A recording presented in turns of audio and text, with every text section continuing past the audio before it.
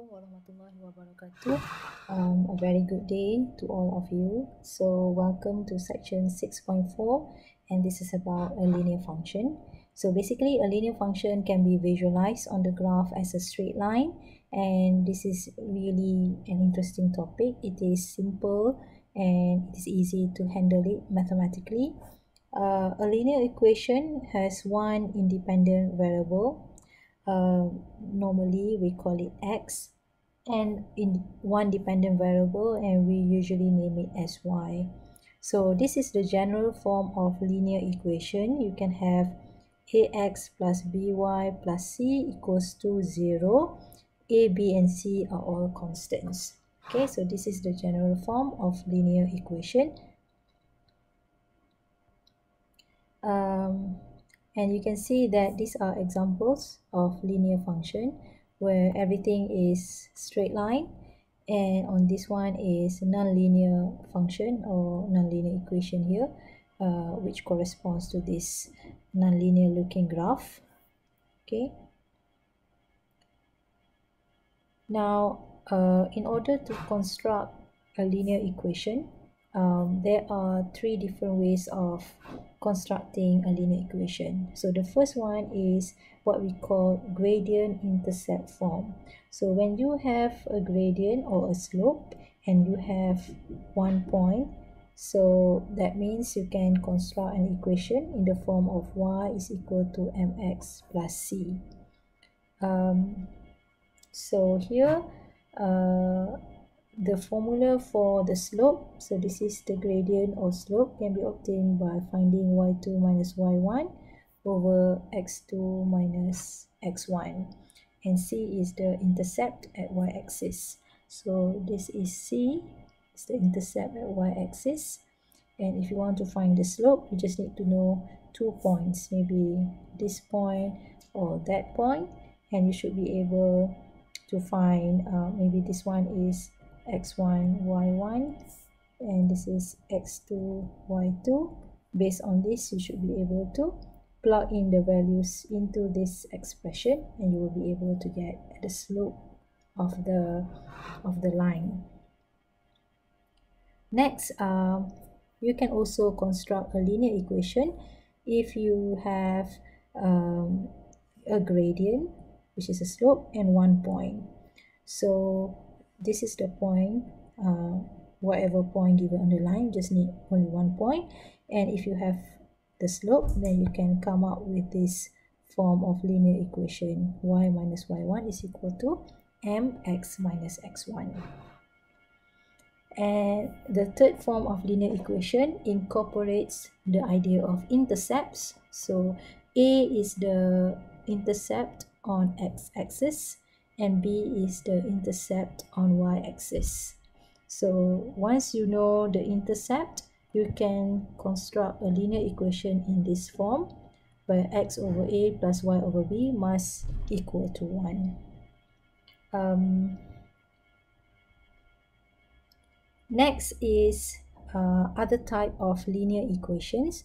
So the first one is what we call the horizontal line um, and as you can see here uh, when you have a horizontal line the equation is simply like this. Y is equal to b where b here is a constant.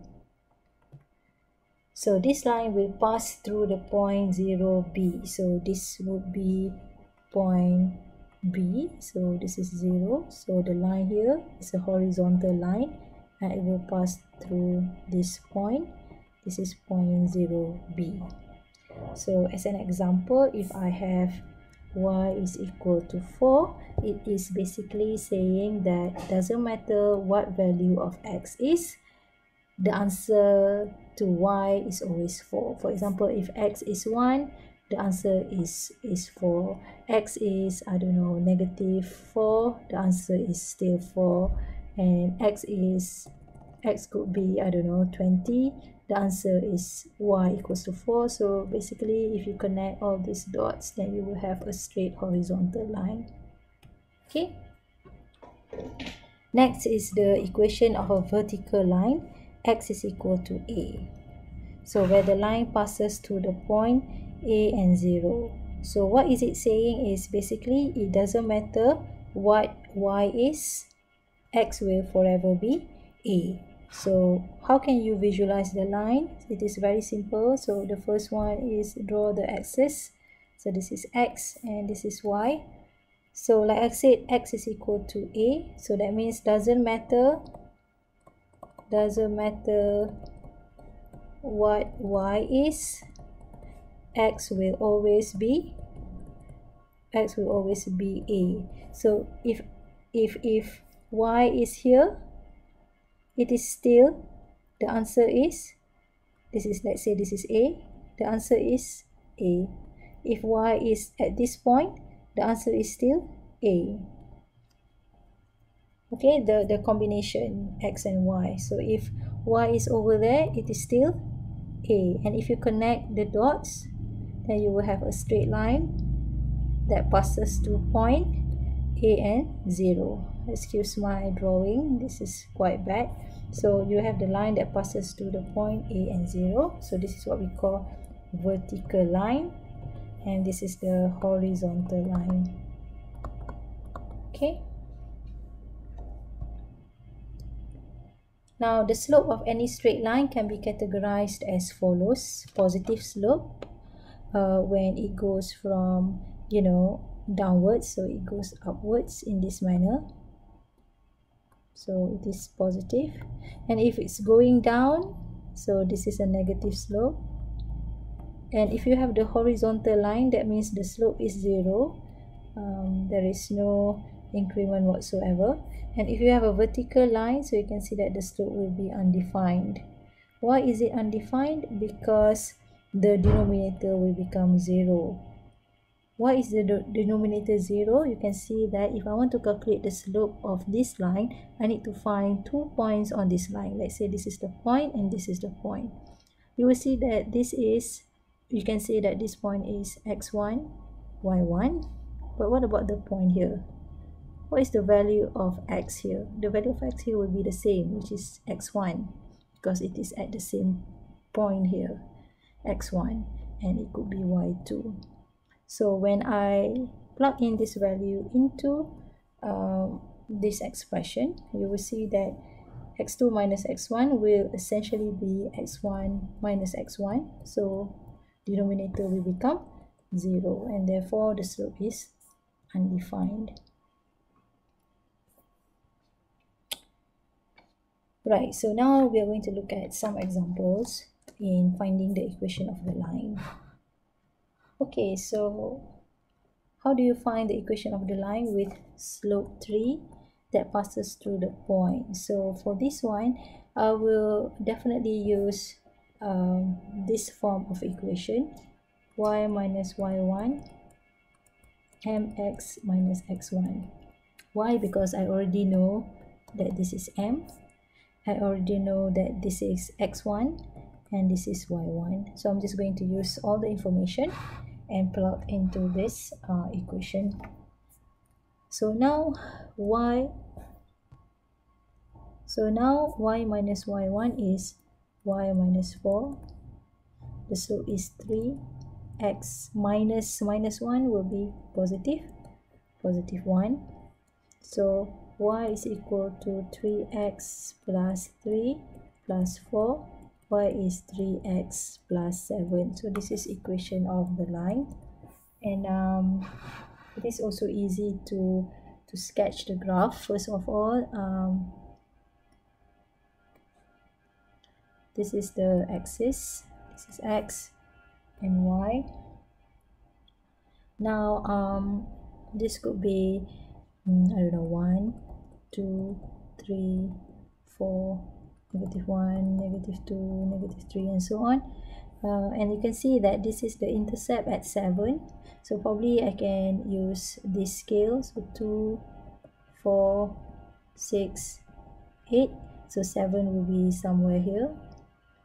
So now I'm going to choose two points to plot so first one is this point at 7 so this is the intercept uh, next I know that the slope is 3 so I know that it is either going uh, it is going upwards so I'm going to have this line that looks like this but I need to have another point in order to connect the two dots and form a straight line.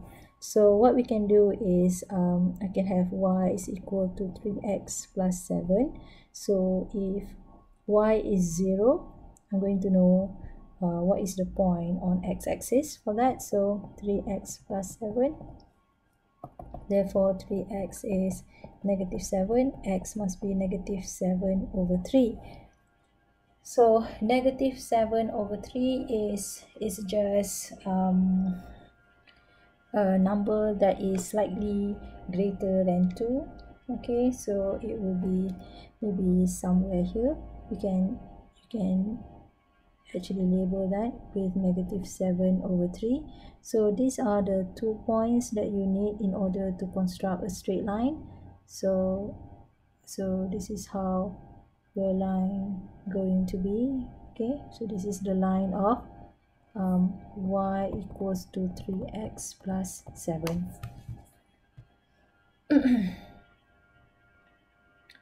next uh, find the equation of the line that passes through these points 2 negative 3 negative 4 and 1 and sketch its corresponding graph.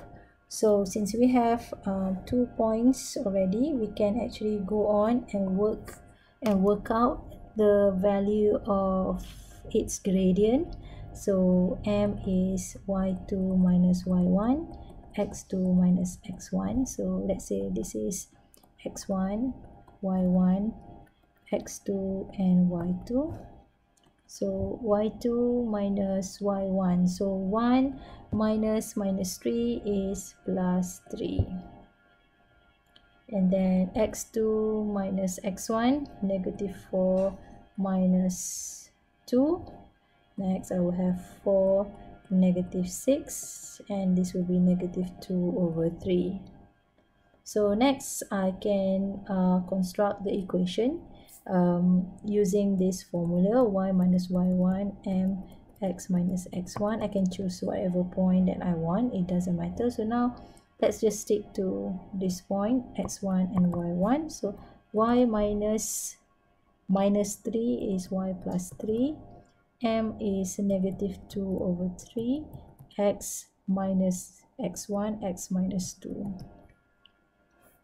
Next, um, I shall have negative 2 over 3x plus 4 over 3 minus 3. So 4 over 3,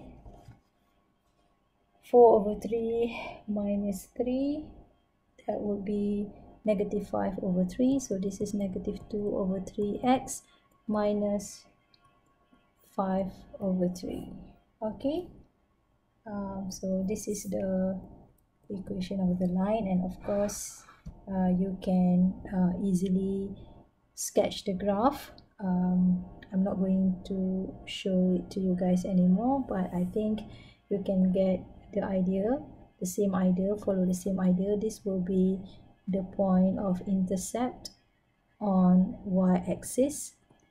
So so the point here will be 0 negative 5 over 3 Mm, the slope is um, is a negative slope. That means the graph is going downhill. Okay the graph is going in this direction. And I'm sure you can work it out. So basically roughly the graph will looks like something like this. So you just need to know what is the point here. This is actually 0 negative 5 over 3 and you need to find somewhere uh, a point on this uh, x-axis connect the two dots and get the line. Okay? So this one will be uh, left as a homework. Okay. Now under some circumstances you may need to change the given form of linear equation in order to solve the problem. For example here um, you you may have to change this. This is the the form of linear equation to something that makes it easier for you to find the slope and the intercept. So um,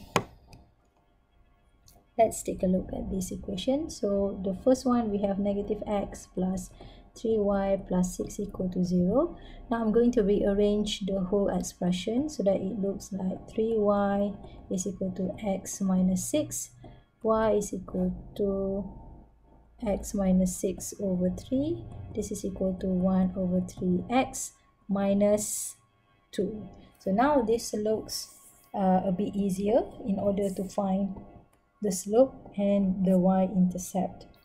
So what is the slope? this is the slope.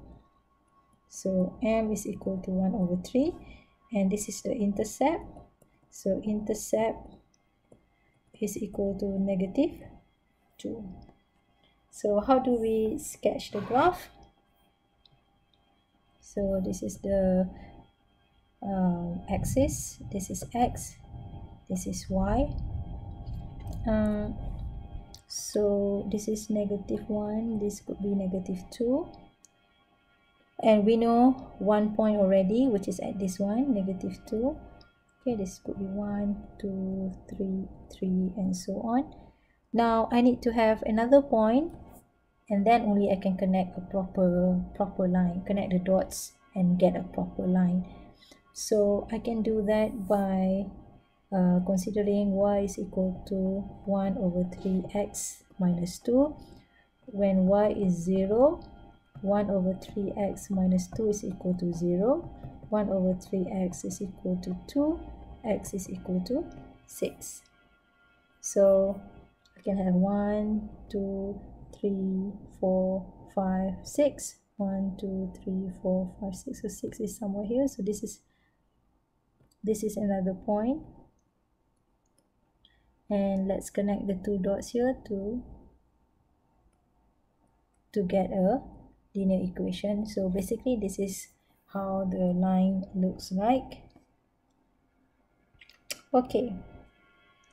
The next example is um, it is asking you to interchange the form of linear equation in the form to of this one to something that looks like an intercept form because uh, the question is asking to find what is the x-intercept and the y-intercept. So what is the form, what is this intercept form? Intercept form, if you look at the previous lecture note, it is when you have x over a plus y over b is equal to 1. So this is the the the point the intercept form where clearly you can find what is a and what is b.